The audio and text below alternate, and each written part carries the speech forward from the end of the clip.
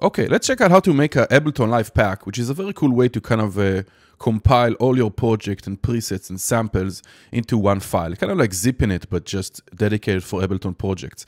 So if you have a, a musical idea, I want to share with a collaborator, or maybe I'm at school and I need to share my homework with the teacher, or whatever it may be that you need to transfer between computers, this might be a good way to make sure the project is packed correctly and have all the files.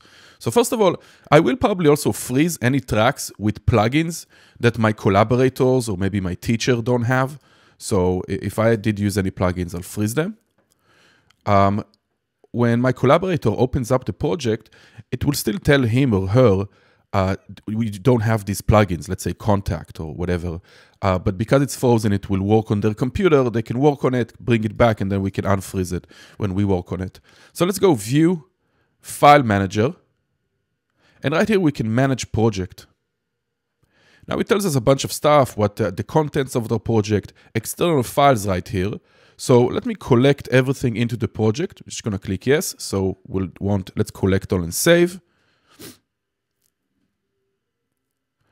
Okay, great. Let's go back to the manage project.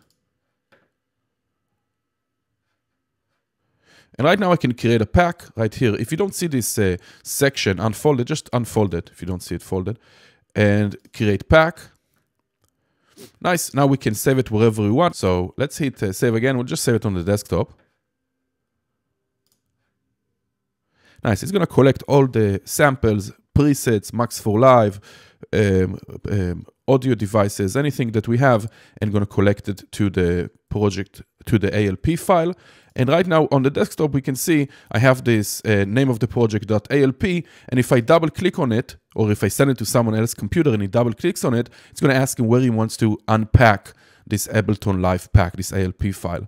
And that is just a regular project. So this is a great way um, to pack everything to zip all your project to trans transfer between computers or to send it over, uh, creating an Ableton Live pack. It's also great if you make any instruments, any custom um, sampled instruments or whatever it may be, and you want to share it, it might be nice to do Ableton Live pack so it includes all the samples and everything.